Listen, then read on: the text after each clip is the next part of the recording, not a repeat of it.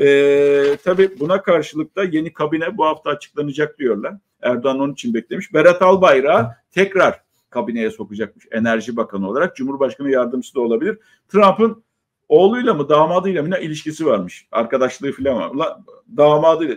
Tamam arkadaş da damadıyla ilişkin arkadaşlığım vardı da peki geçtiğimiz süreç içerisinde o mektubu nasıl yazdı kayınpederine veya Türkiye Cumhuriyeti Devleti'nin Cumhurbaşkanı'na?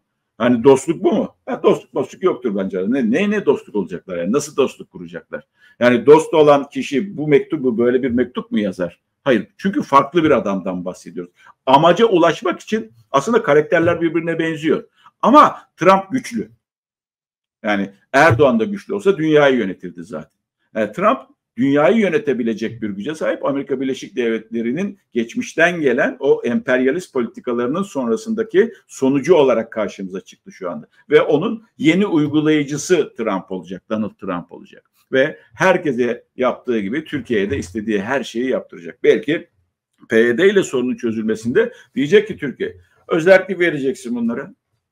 Ee, burada işte onlar da silah bırakacaklar. Namluları da sana döndürmeyecekler. PKK da işte silahlarını bırakacak. Namlularını döndürmeyecek. Yoksa onları da batırırım. Sen uymazsan masadan çekilse senin de ekonomini mahvederim diyecek. Para muslukları kesilecek. Her türlü ambargo uygulanacak. Türkiye'den e, ithalatın e, önüne geçilecek.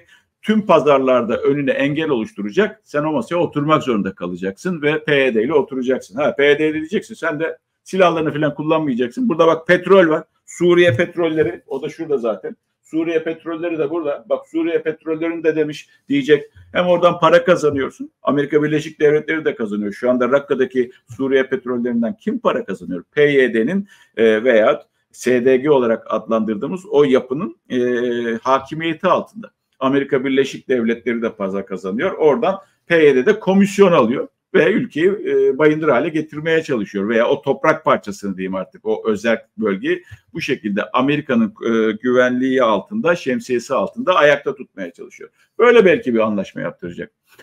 Yani bunların hepsini göreceğiz zaman içerisinde. Ama e, yepyeni bir dünya düzeni kuruluyor onu da söyleyeyim. E, tabii burada Berat Albayrak Süleyman Soylu isimleri tekrar geçiyor. Berat Albayrak'ın ülkeye yaptığı, kattığı zararı görüyorsunuz. O da dostane ilişkiler kurulması açısından. Ya dosta mosta bakmaz arkadaş. Yani Erdoğan da zaten dost olmadığını da biliyor da Trump'tan dost mu olur ya?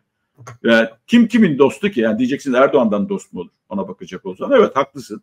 Yani siyasette e, benim dostum diyebileceğim adam Ahmet'tir mesela.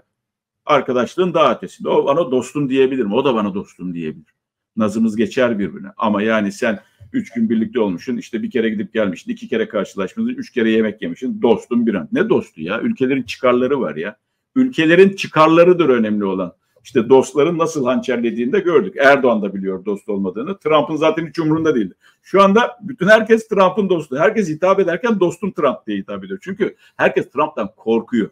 Saygı falan gösterdikleri yok. Adamın ne yapacağını bilemiyorlar.